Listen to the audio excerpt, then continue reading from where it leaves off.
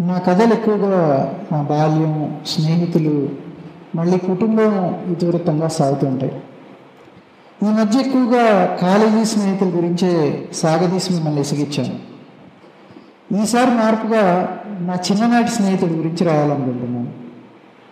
వాడు ప్రస్తుతం అమెరికా సంయుక్త రాష్ట్రంలోని ఉత్తర కరోలినాలో ఉద్యోగ పర్వం వాడి పేరు దాడి ప్రతాప్. ఏ కొత్త విషయం కనిపించినా నేర్చుకోవడానికి వాటి మీదకి దాడి చేసేస్తాడు. మా అన్న మా పెద్దమ్మ కూతురైన మా బాడుగక్క మళ్ళీ ప్రతాప్ వాళ్ళ అమ్మగారులు కావల్లోనే పియూసీ చదివారు.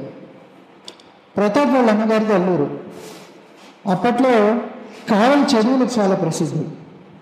విశ్వోదయ లాంటి బళ్ళతో జవహర్ భారత్ లాంటి కళాశాలలో చదవడానికి చుట్టుపక్కల ఉన్న ఊర్ల నుండి కావలికి చేరుకునేవాళ్ళు.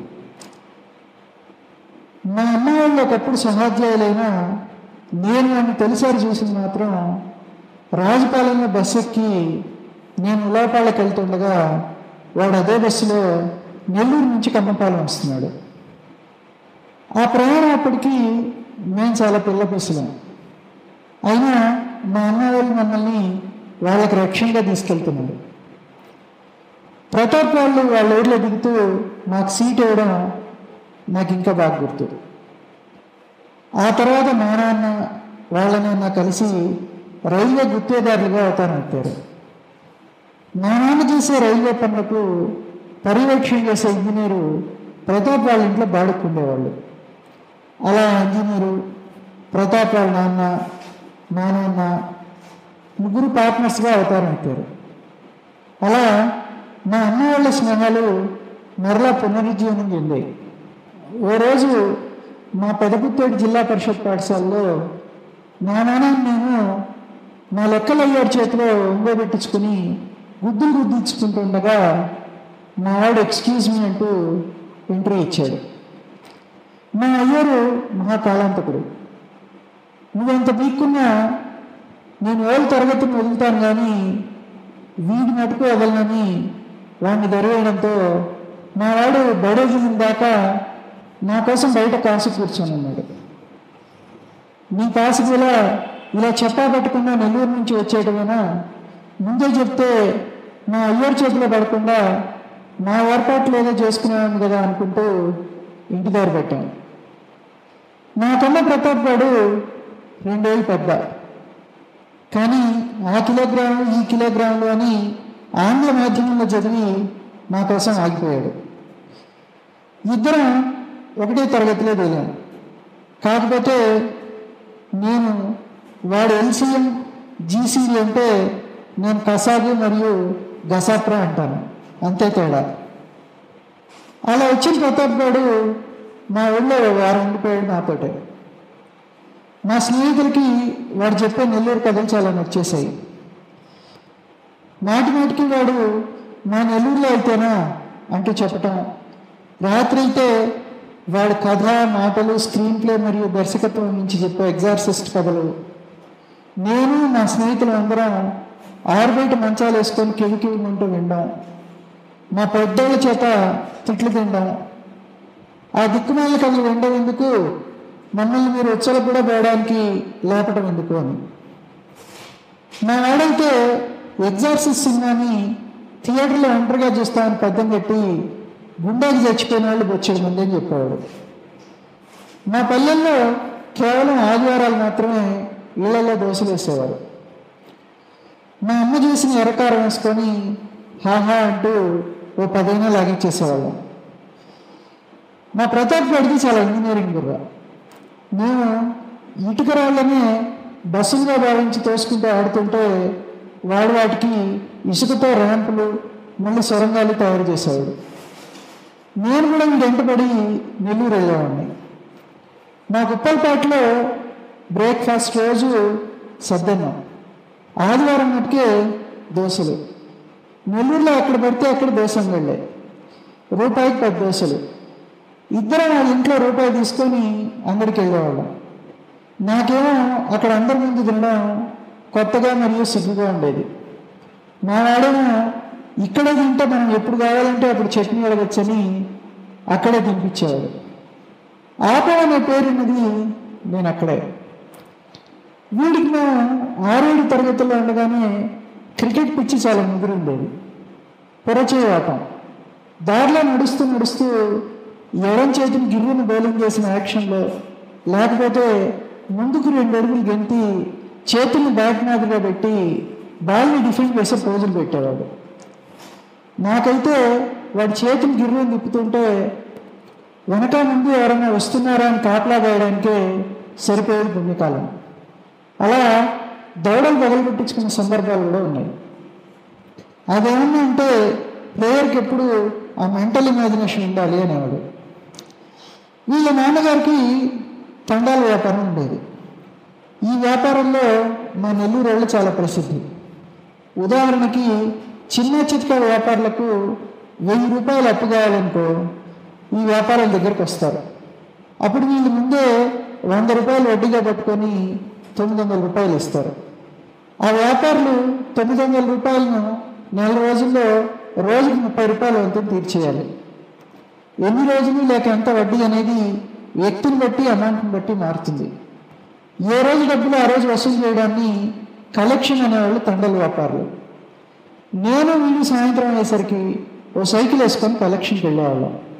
ఓ బేకరీ షాప్కు మంగళ షాప్కు మిఠాయి బండి దగ్గరికి వెళ్ళి కలెక్షన్ తీసుకొని వాళ్ళతో మా పాకెట్ బుక్లో సంతకం చేయించుకొని మేము వాళ్ళ పాకెట్ బుక్లో సంతకం చేయడంతో ఆ రోజు కలెక్షన్ ముగిసేది.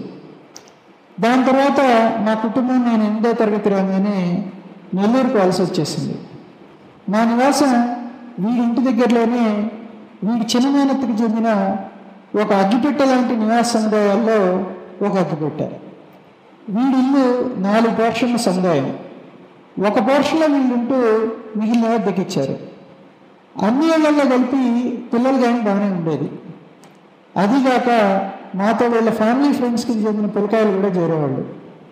అటు ఫ్యామిలీ ఫ్రెండ్స్లో మా నెల్లూరులోని కనకమనాల సినిమా హాల్ యజమానుల అన్నదమ్ముల్లో కొత్త ఉండడంతో మా పిల్లగానికి కనకనాలు కొత్త హాలు వినాయక శ్రీనివాసం హాలు మరియు విజయమహల్ లాంటి తొట్టి హాల్స్లో సినిమాలు ఫ్రీ. అందరం కట్టగలుసుకొని అడిగితే ఆయన పాపం మాకు సీట్స్ అరేంజ్ చేసేవాడు. నేను ఎనిమిదో తరగతి సొంతపేటలోనే ఉన్న ప్రభుత్వ ఆదర్శ ఉన్నత పాఠశాలలో చేరాను. మా అక్క నెల్లూరులో కనికల ఆసుపత్రి పక్కన ఉన్న అమ్మగారుల బడి అనబడే సెయింట్ జోసెఫ్ పాఠశాలలో చేరింది. నా బడిలోనే ఆ సంవత్సరం ఆంగ్ల మాధ్యమం ప్రారంభించడంతో మా వాడు కూడా మాతో పాటు ఎనిమిదో తరగతిలో చేరిపోయాడు. అప్పట్లో నా బడిలో ఆంగ్ల మాధ్యమం పిల్లకాయలంటే మా ఇంజనీరింగ్ కళాశాలలో హైదరాబాద్ మాదిరి ప్రత్యేకం. నా విశ్వరూపం నా బళ్ళో చేరాక ఇంకా ఎక్కువగా చూసా వీడు కలబెట్టిన ఆటలు cricket ball badminton long jump high jump లాంటి ఆటల్లో అన్నిట్లోనూ వీడే. వీడి బౌలింగ్లో ఎవరన్నా ఫోర్ బ్యాట్తో గ్రేట్ షాట్ అనో గుడ్ జాబ్ అనో లేక కీప్ అనో అవతల వాడి బ్రతికిని పొగిడి వీడి చచ్చు బౌలింగ్ని కవర్ చేసుకునేవాడు. అలాగే బాల్ బ్యాడ్మింటన్లో సెంటర్ ఆటగాడిగా అవతారం ఎత్తి ముందడి లేక వెనకాడ కొట్టాల్సిన బాల్స్ కూడా లీవిట్ లీవిట్ అంటూ ప్రయత్నించి నేలపాలు చేసి ఈజీ ఈజీ అంటూ కవర్ చేసేవాడు. అలా ఉండే మా వాడి ప్రతిభను మేము తట్టుకోలేక అప్పుడప్పుడు వీడికి వ్యతిరేకంగా మేము గ్రూపులు కట్టేవాళ్ళం. వాళ్ళ నాన్నగారికి వాడంటే చాలా ప్రేమ. కానీ నా దగ్గర వాడిని ఒరే కిరణ వాడితే ఎదవరా వాడితో చేరి నువ్వు కూడా బలాదురుగా తిరుగుతున్నావు అని ఎవరు ఉత్తుతున్నాయి నేను లేదు మా వాడు చాలా మంచోడు భలే చదువుతాడు. మా ఏర్లందరికీ వాడంటే చాలా ఇష్టం అని పొగుడుతుంటే పుత్రోత్సాహంతో పొంగిపోయేవాళ్ళు అలా నాకు వాడిని భట్రాజులకు పోయే మహద్భాగ్యం వారానికి ఒకసారన్నా కల్పించేవాళ్ళు ఆయన. ఒకరోజు నేను వాడి ఆంగ్ల మాధ్యమ సహాధ్యాయుడైన ప్రసన్న కలిసి వస్తున్నాం ప్రతాప్ వాళ్ళ నాన్నగారు వాళ్ళ ఇంటి ముందర మమ్మల్ని ఆపేశారు. వాడేడ్రా అని. మా వాడేదో ఆటల్లో ఉంటాడు. అందుకని నేను వాడి కోసం చూడకుండా వచ్చేసా అని చెప్పారు. ఆయన ఆడకుండా ఆయన దూరంలో మళ్ళీ వెతుకున్నారు. వాడు ఎదవరా? ఎప్పుడు ఆటలే వాడికి చదువు సరిగ్గా బొత్తిగా లేకుండా పోయాయి. పళ్ళు కూడా సరిగ్గా తోమడు స్నానం కూడా వాళ్ళ అమ్మ తల్లితోనే చేస్తాడంటూ. నేను మళ్ళీ వెతుకున్నా. లేదు మామా వాడు చాలా మంచోడు. భలే చదువుతాడు. ఆటల్లో కూడా నెంబర్ వన్ అంటూ. ఇంకా ప్రవర్తన చాలిపోయినా ఇంకా చెలరైపోయారు. ఇంతలో నేను వద్దు వద్దు అని కన్సల్ట్ చేస్తున్న మా ప్రసన్నగాడు అవునంకుల్ మీ వాడు ఉత్త నాతో ఈరోజు చాలా పెద్ద గొడవ వేసుకున్నాడు అనవసరంగా అంటూ చెప్పేసి అక్కడి నుంచి వెళ్ళిపోయాడు. నేను మళ్ళీ మా ప్రతాప్ వాళ్ళ నాన్నగారు వెంటపడాల్సి వచ్చింది. లేదు మామ వాడు చాలా మంచోడు అంటూ నా అరిగిపోయిన పాతపాటిని మళ్ళీ మళ్ళీ వేస్తూ ఆదివారం అయితే ఇంట్లో వాళ్ళ కళ్ళు కప్పి చల్లగా జారుకునేవాళ్ళం. ఎక్కడికి వెళ్ళాలో మాకు ఒక నిర్దిష్ట ప్రణాళిక ఉండేది కాదు. ఎవరన్నా స్నేహితులలో దూరదర్శన్ ఉంటే అక్కడికో లేక వాడు బ్యాట్ పట్టుకొని గ్రౌండ్కో లేకపోతే మా హిందూ పేపర్ ఏజెన్సీ ఉన్న మా స్నేహితుడి ఇంటికో. అక్కడ కూడా వాడు హిందూ పేపరు స్పోర్ట్స్ స్టార్ చదివితే నేను బాలమిత్ర బుజ్జాయి చదివేసేవాడిని. ఆదివారాలు అప్పుడప్పుడు లీలామాల్ పక్కనున్న మెక్లీన్స్ క్లబ్లో తెర మీద పాత సినిమాలు వేయడం కనిపెట్టింది. మేము అక్కడే మాయాబజారు గుండమ్మ కథ మిస్సమ్మ లాంటి సినిమాలు కూడా చూసేవాళ్ళం. నా గ్రౌండ్కి వెళ్ళి వీడితో క్రికెట్ ఆడే పిచ్చి ఉండేది. కానీ క్రికెట్ చూసే పిచ్చి ఉండేది కాదు. నేను వాడు క్రికెట్ చూస్తుంటే ఇంటికి వెళ్దాం ఇంటికి వెళ్దాం అని విసిగిస్తుంటే నాకు దగ్గరుండి మియాందాద్ వెంక్ సర్కార్లు ఎంత డిపెండబుల్ ఆటగాళ్ళలో డెస్మండ్ ఎయిన్స్ గార్డెన్ గ్రీనిజ్లు ఎంతటి విలువైన ఓపెనర్లో వ్యూ ఎంతటి విధ్వంసకారుడో చెబుతూ నాకు అంటించేశాడు ఆ పిచ్చిని నన్ను ఇమ్రాన్ ఖాన్ అంటూ పొగుడుతూ నా చేతి గంటలు గంటలు బంతులు వేయించుకుంటూ బ్యాటింగ్ అంతా వాడు ఆడేసేవాడు. ఇలా ఆటలు పాటలు పాడి చివరికి పరీక్షల సమయానికి మా ఇంటి మీద టెంట్ వేసేవాళ్ళం.